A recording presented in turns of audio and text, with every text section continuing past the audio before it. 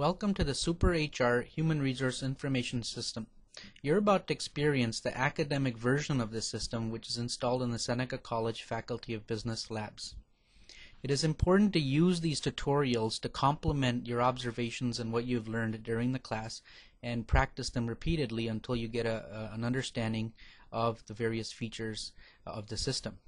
To begin, you would use super as your user ID and lowercase hr as your password and you would click OK.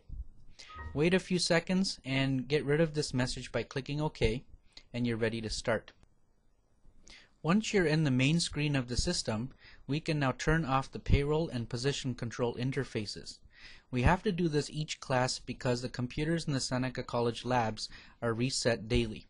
To do so, you would click on Tools, System Admin, System Options, and Position Control, and carefully uncheck each of the check marks on the screen. Once you have done that, click the Save button or F10 to save your settings and then actually restart the application and then go back in.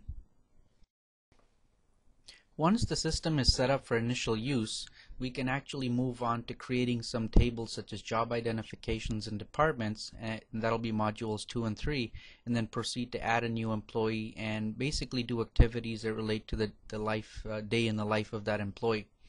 Uh, we will now exit the system and make sure that after every session that you actually do click on File and then Exit to make